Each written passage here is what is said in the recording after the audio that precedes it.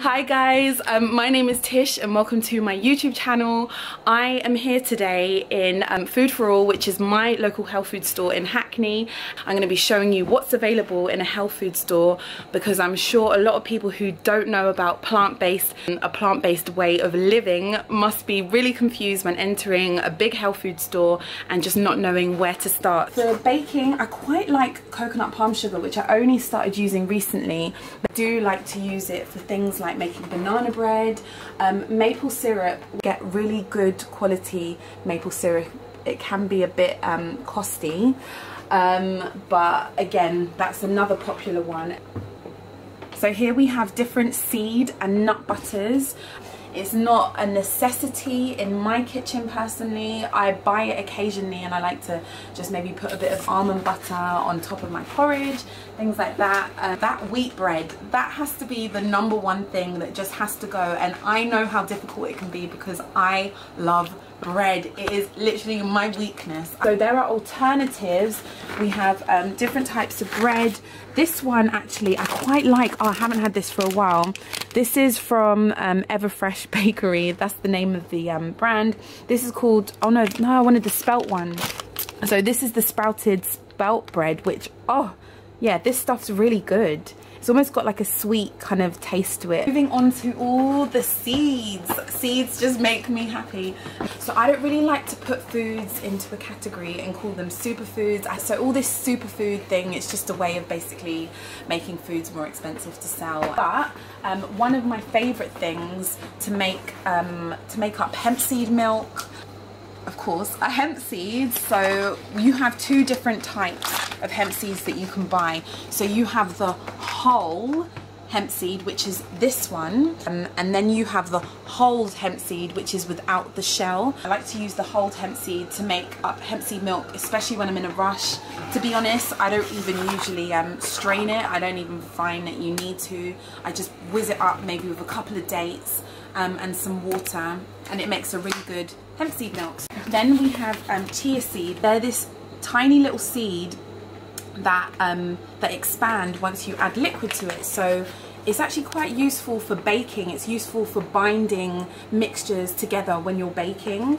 Um, in the summer, I like to make like a chia um, overnight kind of breakfast pot. All of you worried about protein this, protein that, look at all of the nuts that are available. Using nuts and seeds, I would really advise you to soak and it's really beneficial for your digestion to soak everything. Like I literally spend my life soaking things, soaking nuts, soaking seeds, soaking beans, soaking soaking my feet. If you want to make up um, some nut milk, get one of these. These are like a nut milk bag. It's such an easy process and even all those um, shop bought ones which are filled with crap, honestly, stay away, make your own, do your own thing, work it out yeah, we're gonna do this. So moving on to seeds and grains, um, amaranth is something that I am using a lot recently and I just love it. I make the amaranth up into a nice warming porridge that keeps me satisfied. With quinoa, it's not only white quinoa um, that is popular, there are also different types of quinoa, different colours of quinoa. So we have red quinoa and then we also have black quinoa. I think red quinoa is actually my favourite out of white, red and black. Up here we have all of the beans available. Look at them, all of the pulses. I love chickpeas. Again, I don't really buy from tinned. I like to soak everything. Soaking is just the way forward. Ombars, the center ones, I like the vanilla and coconut one, but these are incredible. And they're vegan. And they are vegan. So but just don't try them if you don't want to get addicted because honestly every time I walk past one now I feel like I have to pick I have to pick it up. So we have loose almonds loose cashews. Guys you don't need dairy to make creamy foods. You can use cashews are like the perfect thing to make cashew creams for your um, for your food for your desserts. Um, there is always an alternative just yeah we can do this without a cow. okay, again, another thing, just, yeah, don't, don't try it. Don't try it because once you've tried it, there's no going back. There is no going back and this stuff is pretty expensive as well. So guys, we have some red lentils, look at that. Chuck it in your curry, chuck, make a red lentil soup. Um, again, soak. I would recommend soaking.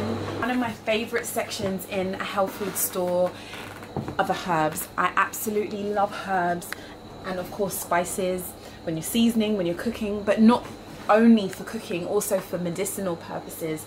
So here in Food for All, they have such a great variety and selection of herbs. Raspberry leaf, and this is just the most incredible herb for women and our health. So um, from everything from periods, just to hormone balance, to um, to heavy bleeding. Girls this is the herb this is the herb to check out. Food doesn't have to be bland.